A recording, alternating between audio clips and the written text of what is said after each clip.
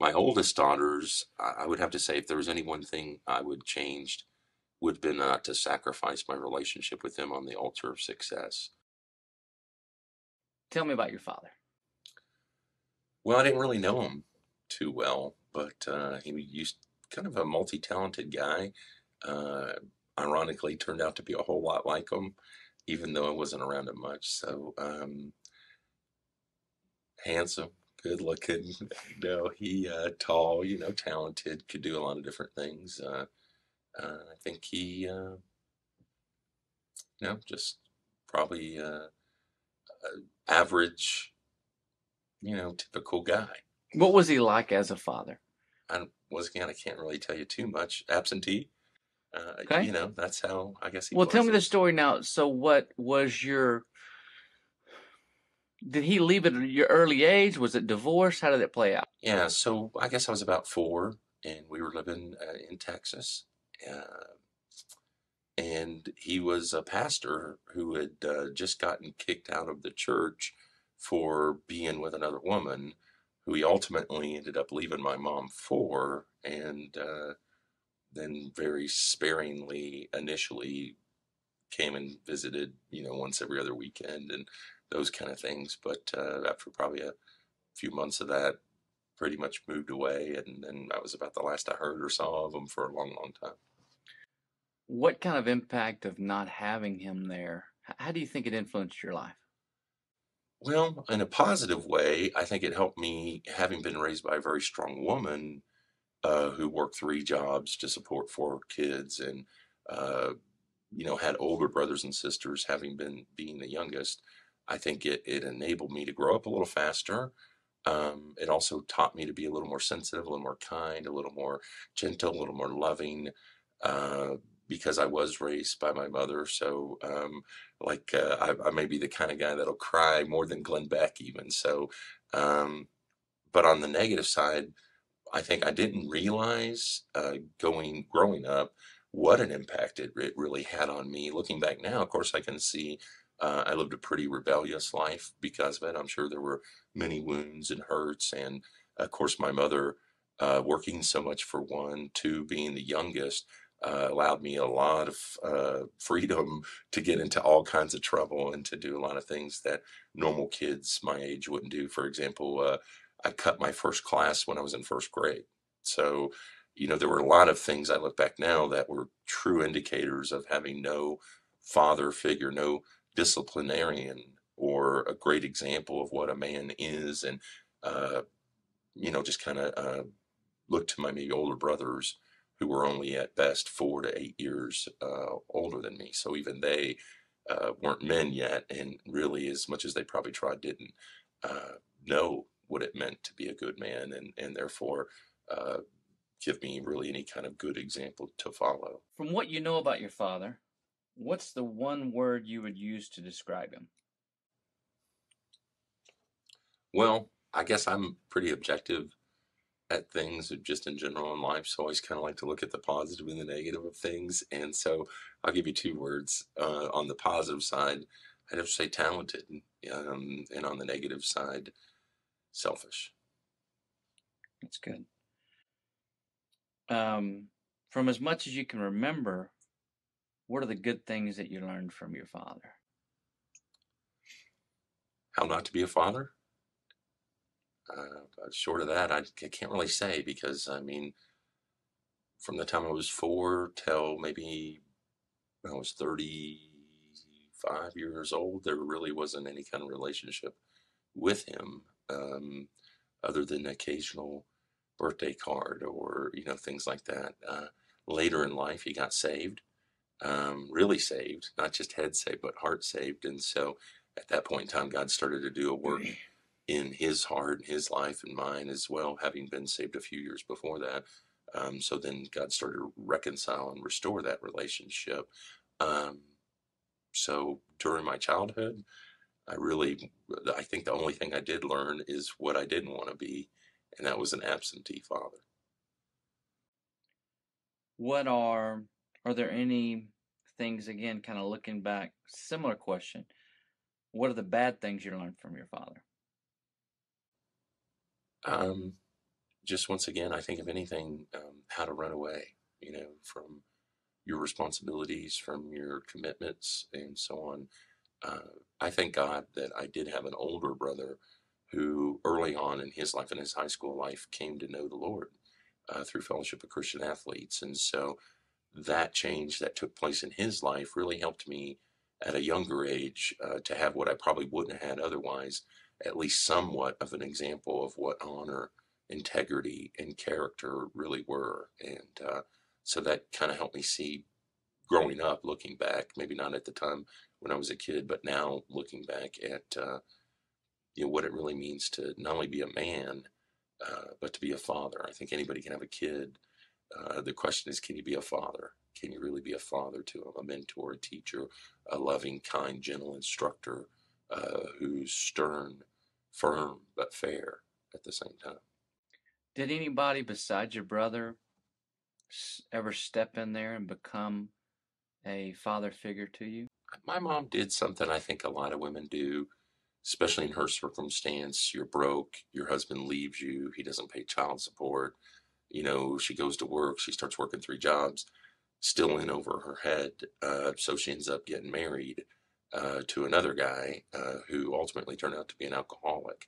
So uh, in the short stint uh, in my relationship with him was pretty much non-existent too, because I was always afraid of him because he'd come home drunk and, you know, kind of hooting and hollering and you know just just crazy kind of stuff so i'd always kind of just disappear in my room and never get in his way kind of thing so uh, I, I don't really have uh, you know a frame of reference other than my brother maybe a, a, coach or two along the way as i got older and played sports and and things like that i think my fourth grade school teacher um, really was impactful at a certain point in time in my life. I still remember his name.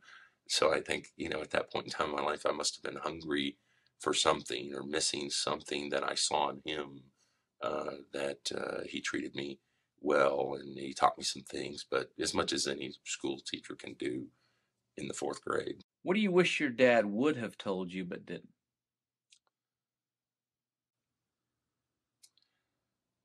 you know, it's kind of a double-edged sword, really, because you know, at that point in time, I think every kid would want to hear, you know, "I love you" would be something you'd long to hear from your dad, or that I I want to be here, or I want to get back together with your mom, or you know, all those kind of thoughts I think go through your head.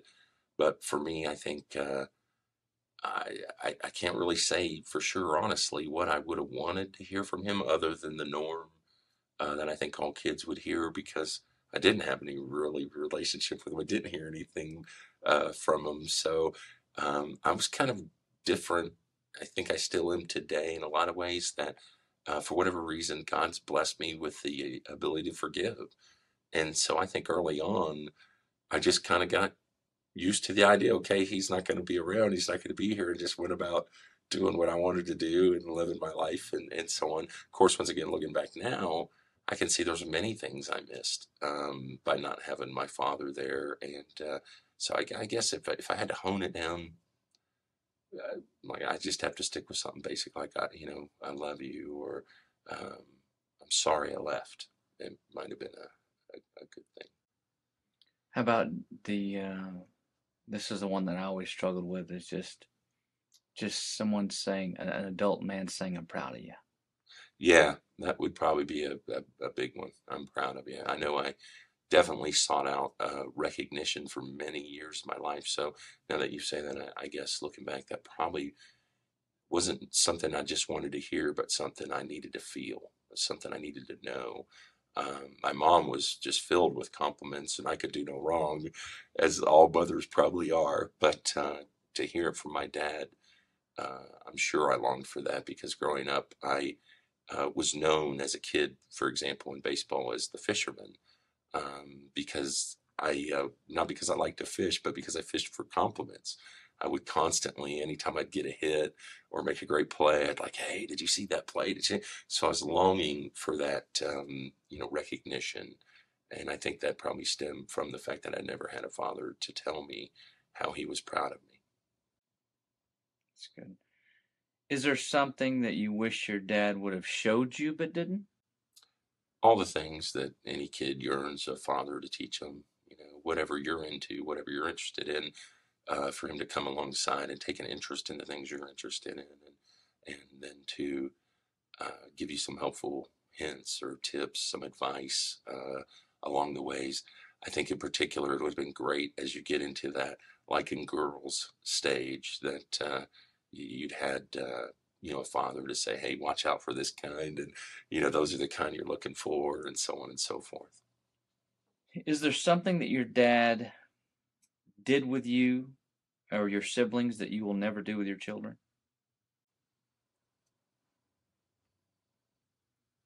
pawn them off on someone else I, I never forget the times that he finally did start to come around again and ask for time with us, uh, maybe going up to visit him uh, a couple weeks in the summer, once or twice, um, but then not being there and just pawning us off on, uh, you know, our stepmom, who at that time we felt like was the step monster, uh, the evil, wicked stepmother from the West. So, ironically, now I have a better relationship with her than I do with him, but uh, it's uh, funny when you're young how no one, especially in those circumstances, will ever take the place of your real mother. And to be thrust into a situation where uh, you're homesick, kind of like a kid at camp, you know, you don't want to really be there. You're only going there because your mom told you you had to go there. And then to be kind of turned over to what in your mind is the wicked, you know, wicked stepmother from the West. Um, I think it, it, it, it really resonates that we weren't important, that uh, I'd been better off just staying back uh, at home with my mom and not going with him at all. Kind of on the flip side of that, was there anything that your dad did with you or your siblings that you have done or will do with your kids? Yeah, I'm sure there's lots of things. Um, I can't really recall any No, that's off the fine. top of my That's head, fine. No, no, but. I would have to probably say, you know, if any one thing, uh, I think I learned more from his mistakes than I did from his example. You know, just once again learning what not to do more so than what to do. And uh, I know my dad's probably going to watch this and think I'm being so unfair, but uh, that's you know just the God's honest truth of it. I, I think I've learned far more from him on what not to do and uh, many many things that that I won't do with my kids. I could go on and on and on on Yeah. that issue, but what I will do with my kids, um, I really can't recall other than maybe going to the zoo or going fishing once. You know, I would go do with my kids. Yeah. What was the most memorable experience with your dad? You have one? I would have to say throughout the course of my life or as I was a, as a kid, just any time in my life, Anytime. Promise Keepers here in Dallas, Texas, when he got saved. I'll never forget, uh, you know, having been saved for about a year or two myself at that time and had been praying, knowing that my father, knowing what I knew it was to be a Christian at that time, that something had inside me had changed. And uh, that if any man be in Christ, he was a new creation. That certainly was the case for me. God had really just, you know, did a 180 in my heart and so did my life. You know, after he changed my heart, my thoughts changed, my actions changed, my words changed, my priorities changed, my relationships changed. And instead of having anger uh, towards my father and not wanting really anything to do with him, I began to pray for him to uh, get saved. So uh, I think uh, that time at Promise Keepers, when God really did get a hold of his heart, and uh, and it was evident because when they asked people to come forward and make a decision for Christ, he was so broken and weeping so hard that he couldn't even get out of his chair, and uh, and just sat there with his hands in his head. And I must admit, at, a selfish level, uh, which maybe I'm a bit ashamed of still to this day, although I had been praying for his salvation, when I saw him broken, when I saw him weep, not, not only did I rejoice just as all of heaven rejoices, but there was a small part of me that felt vindicated in some way, you know, that felt like, okay, now he's feeling the pain that I felt all those years for having abandoned us. Yeah. That's good. That's real too. Is there, speaking of When you were a ch- when you were a child, is there a time that was your most ex- most memorable experience with your dad as a child? Is there anything that stands out? Fishing. Caught a couple of my first fish in the Colorado River. Uh, he rented a cabin uh, for us to. It was just me actually. Um, I think it was the only second time during the summer uh, that I had ever gone and spent any time with him. Must have been probably ten years old or so, and so we caught some trout in a stream, and I just thought that was great. You know, fishing with my dad and um, catching that first fish and learning how to do it, and you know those kind of things. That uh, was a good day. As a father, if there's one thing that you wish you could do over with your kids, what would that be?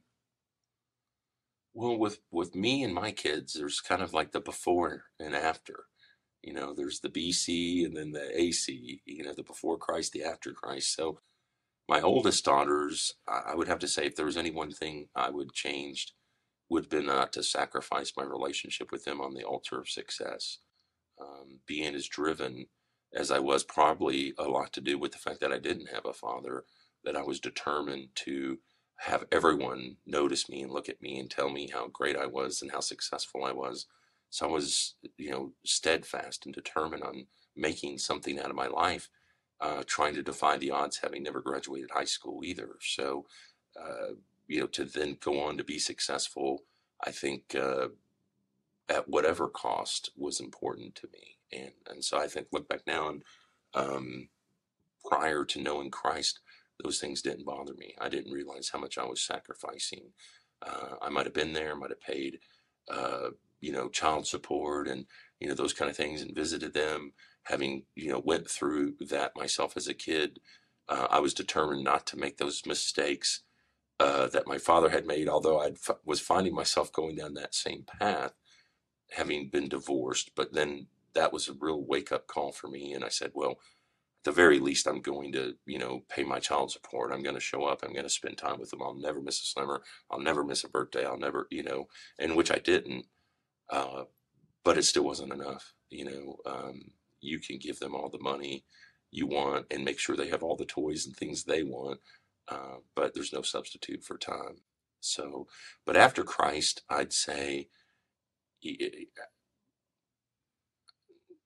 I don't know what I would change. It's it's been such a wonderful, amazing, remarkable difference in my life since I met Christ. Uh, the way He guides me, instructs me, encourages me, the way His Word uh, trains me and speaks to me.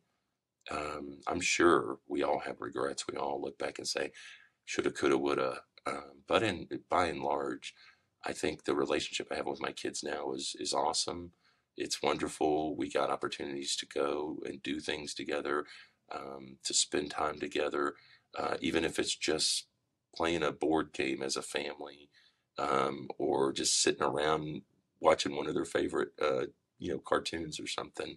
Uh, whatever it is, I, I just really enjoy the time with them.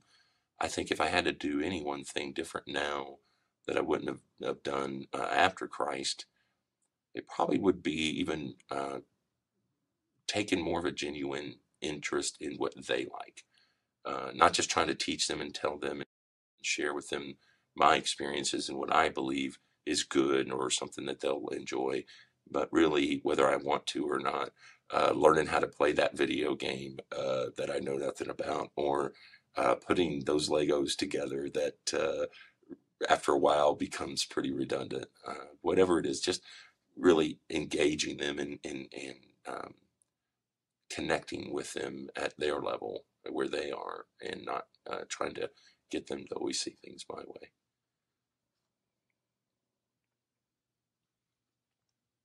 If you could say one thing to your father right now, what what would that be? As as it results to, I mean, obviously you guys have. I didn't realize he was still alive. Yeah, uh, he's like seventy something now. I would I would just say I love you and don't forget you're forgiven. You know, I forgave you, God forgave you. So uh, just move on. When you hear the word dad or father, what thoughts come to mind? Um, on a personal level, for me, uh, accountability, responsibility, integrity, consistency. I mean, there's so many adjectives that describe a father. Uh, a consistency in love and in support and in discipline and so on. Um, but then as a kid, once again, I think the, the word would be absentee or even maybe better put, I don't know. I just don't know. That's good.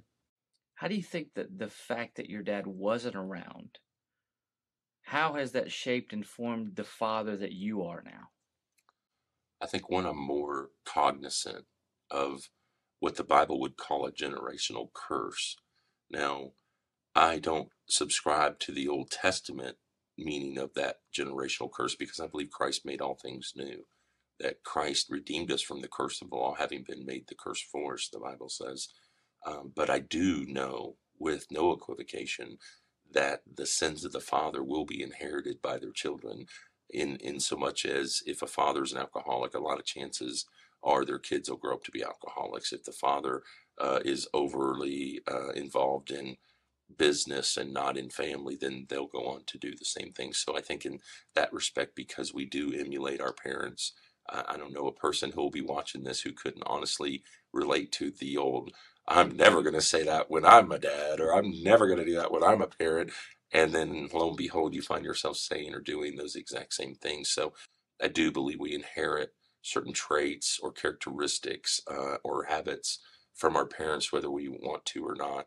I think uh, for me, it just the awareness of what it means to be a good father, more so than anything. Uh, I think it's time. Just just investing that time. That kids really uh, don't need your money. They don't need the toys. They don't need the latest gadgets and gimmicks. They don't need the big screen TV in their room. What they need is you. They need you, and there's no substitute for that. Finish this sentence and repeat the sentence and then finish it. My father was. My father was gone. Okay. Same thing with this one. My father did not. My father did not honor his commitment. Last question. If you had a friend who was going to be a father for the first time, what advice would you give him? I am third.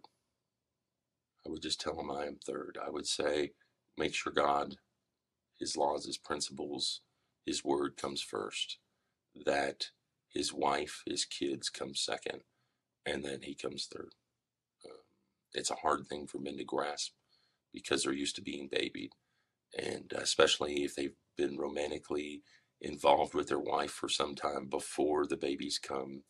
Uh, they grow accustomed to that. They like that attention. They like that extra uh, effort that their wives are able to give them to make them feel like no one else on this earth can make them feel. Um, and when the kids come, mom's attention, because she does become a mom, uh, be, gets split, if not completely obliterated. And uh, the whole relationship changes. And so I think they have to to be mature enough at that point to realize that love is uh, is a verb. It, it's not uh, an adjective. It's not a term used to describe how you feel. It's what you do. And if you truly do love your wife and, and you love your child, then you'll put yourself in that perspective. You'll be like Christ. You'll come to serve and not to be served. Or in short, I would say be her hero or be their hero. And then they'll be your biggest fan.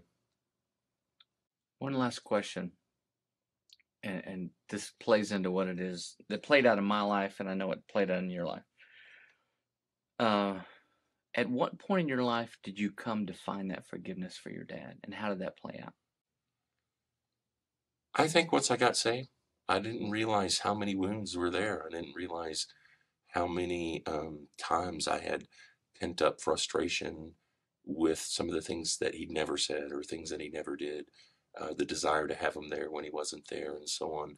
Uh, maybe the uh, frustration or anger of that I had to go through some of the things that I would have never went through had my dad been there for me. Uh, so I think it, it, it impacts a person in a way that uh, you know you probably can't gauge while you're in the thick of it. But uh, looking back, you can see so many times where uh, you say, "Wow, you know, if this was this, then that would have been that way." But but you can't you can't change the past. You can't change those things. So you just try to uh, forgive the best you can at that time. But once I got saved, then uh, you know something new was inside of me. Of course, it was the Lord Jesus, and part of the things He does, one of the hallmarks of a of somebody who's truly had an encounter with Christ, is He starts to change their heart. And part of that process for me was to to forgive and to learn how to forgive and what I needed to forgive Him of. And so for me, it was it was kind of a pretty rapid process because God had already given me a pretty gracious, forgiving heart. But He brought to the surface um, many of the wounds, many of the issues.